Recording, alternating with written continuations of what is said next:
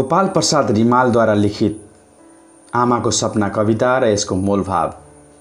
सर्वप्रथम आमाको सपना कविता। आमा त्यो आउँछ र? हो बा त्यो आउँछ। त्यो बिहानको सूर्य झैँ उज्यालो छर्दै आउँछ।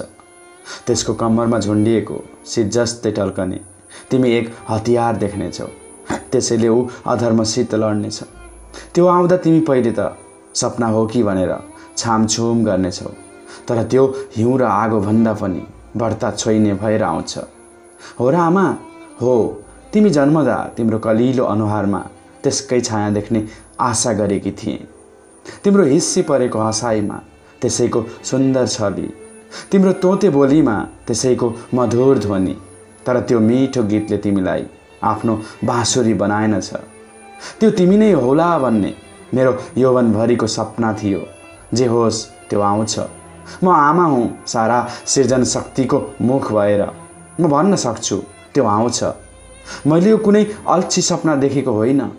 त्यो आएपछि तिमी यसरी मेरो काखमा आएर घोप्टिने छैनौ। सत्य कुरालाई तिमी यसरी चुम्बकिएर कथा सुने झैँ सुन्ने छैनौ। तिमी त्यसलाई आफै नै देख्न सक्ने सहन सक्ने र ग्रहण गर्न सक्ने हुनेछौ।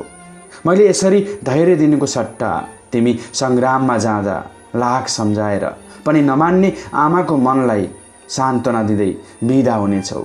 मैले यसरी रोगीलाई चाहिँ तिम्रो कपाल मुसारिरहनु पर्ने छैन। हेरौँला त्यो हुरी भएर आउनेछ। तिमी पात भएर पछ्याउनेछौ। उहिले त्यो जीवन लोकबाट झरेर जुन जस्तै पोखिँदा सारा जडता सग बगाएको थियो बा। त्यो आउनेछ तिमी उठ्नेछौ। त्यो आउँछ कि आमा? मधुर उषाले चराहरूको कण्ठलाई जस्तै।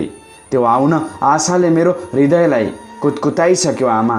हो त्यो आउँछ। त्यो बिहानको सूर्य झैँ उज्यालो छर्दै आउँछ। अब म उठेँ गएँ तर त्यो तिमी नै हौला भन्ने मेरो यौवनभरिको सपना थियो। कवि गोपाल प्रसाद रिमालले लेखेको आमाको सपना कविता। अब भने कविताको मूल भाव कवि गोपाल प्रसाद रिमाल नेपाली कविताका प्रथम गद्य कवि हुन्। उनको जन्म विक्रम सम्मत उन्नाइस सय पचहत्तर जेठ अठार गते काठमाडौँको लगन टोल भन्ने ठाउँमा भएको हो। भने मृत्यु विक्रम सम्मत दुई हजार तिस साल कार्तिक आठ गते काठमाडौँमा भएको हो। प्रकृति प्रेम विसङ्गति र विकृतिलाई कविताको विषय बनाउने रिमालका कवितामा जातीय स्वाभिमान व्यङ्ग्य र देशभक्तिको भावनालाई व्यक्त गरिएको पाइन्छ। उनका कवितामा नेपाली समाजमा व्याप्त अन्याय अत्याचार शोषण दमन कुरीति भ्रष्टाचार आदिका विरुद्धमा क्रान्तिकारी आवाज उठाइएको पाइन्छ। त्यसैले रिमालका कवितामा मूल रूपमा क्रान्तिकारी विचार व्यक्त भएको पाइन्छ। यस्तै गरी उनका कवितामा नेपाली जनजीवनका इच्छा आकाङ्क्षा आशा क्रान्ति विद्रोह र सामाजिक परिवर्तनका आवाजहरू मुखरित भएका हुन्छन्। सरल भाषा बिम्ब र प्रतीक अनि अलङ्कारको संयोजन गरी कविता सृजना गर्ने रिमालका कवितामा गद्य लयको प्रयोग पाइन्छ। आमाको सपना कवितामा कविले नेपाली समाजको निरङ्कुश शासकको अन्याय अत्याचार विकृति विसङ्गति रूपी फोहोरबाट दुर्गन्धित बनेको र यसलाई स्वस्थ तुल्याउन क्रान्ति आवश्यक रहेको भाव व्यक्त भएको छ। कवितामा उपस्थित आमा र छोराका बिचको संवादको माध्यमबाट क्रान्तिकारी भाव व्यक्त गरिएको छ।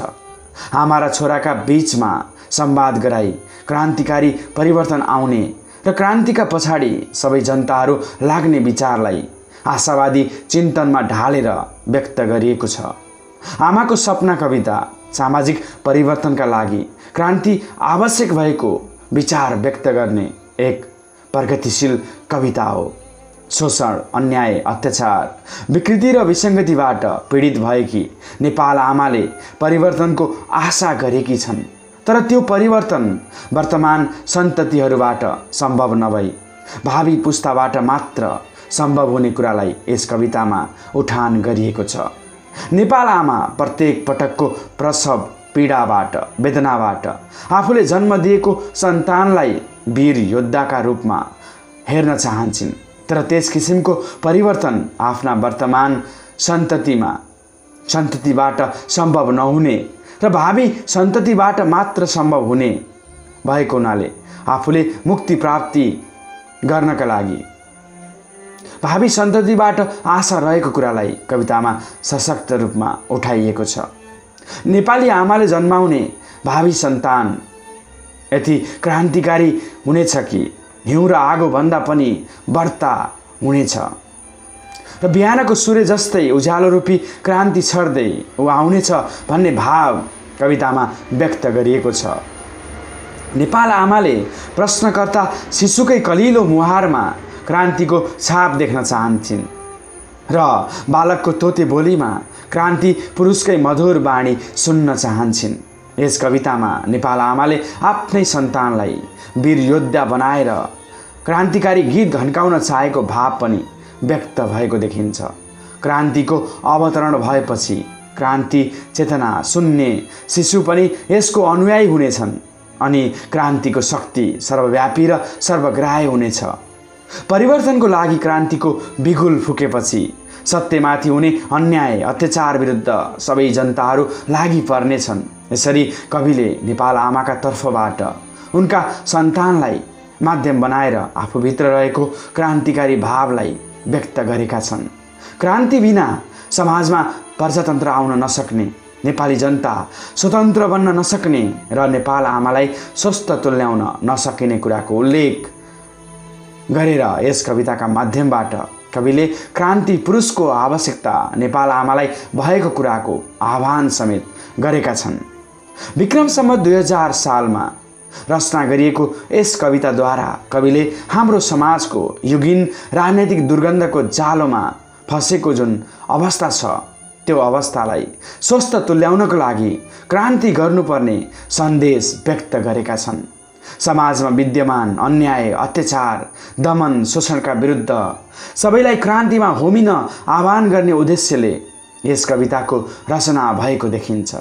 देशमा क्रान्ति रूपी हुरी आएर विकृति विसङ्गति अन्याय अत्याचार र निरङ्कुशता रूपी फोहोरलाई उडाएर समतामूलक समाजको स्थापना हुन्छ भन्ने आशावादी भावको विस्तार गर्नुमा यस कविताको मुख्य विषयवस्तु केन्द्रित रहेको पाइन्छ। न्यूनतम चार तथा अधिकतम तेइस अक्षर र अडचालिस हरफहरूमा यस कविताको संरचना फिजिएको छ। यस कवितामा कविले सरल सहज एवं प्रश्नोत्तरात्मक भाषा शैलीको प्रयोग गरेका छन्। सूर्य हतियार बाँसुरी हुरी जुन जस्ता सन्दर्भयुक्त बिम्बहरूको प्रयोग समेत यस कवितामा गरिएको छ। अन्याय गर्ने भन्दा अन्याय सहने दोषी हो भन्ने भनाइलाई यथार्थ रूपमा प्रस्तुत गर्दै शोषण र दमनका विरुद्धमा आन्दोलित हुन प्रत्येक नेपाली आमाले आफ्ना छोराहरूलाई सम्झिरहेका छन्। प्रत्येक नयाँ युगको सुरुवात गर्न प्रत्येक पिँढीले आफ्नो अवस्था अनुसार आन्दोलन गर्नुपर्छ भन्ने क्रान्तिकारी भाव नै यस कविताको मूल भाव हो। आजको यस भिडियोमा कवि गोपाल प्रसाद रिमालद्वारा लिखित आमाको सपना कविता र त्यस कविताको मूल भाव हामीले चर्चा परिचर्चा गऱ्यौँ यो कविता कक्षा बाह्रको अनिवार्य नेपालीको पाठ एकमा समेत पाठ्याङ्शको रूपमा राखिएको छ। त्यसैले कक्षा बाह्रका विद्यार्थी भाइ बहिनीहरूका लागि पनि यो भिडियो उपयोगी हुनेछ। आजको यो भिडियो सामग्री कस्तो लाग्यो? जस्तो लाग्यो त्यस्तै सल्लाह सुझाव र प्रतिक्रिया दिन नभुल्नुहोला। आगामी दिनमा यस्तै भिडियो अपडेट पाउनको लागि हाम्रो च्यानलमा नयाँ हुनुहुन्छ भने च्यानल सब्सक्राइब गरेर जोडिनुहोला। साथमा नजिकै रहेको बेल आइकन प्रेस गरेर अल नोटिफिकेसन समेत अन गर्नुहोला।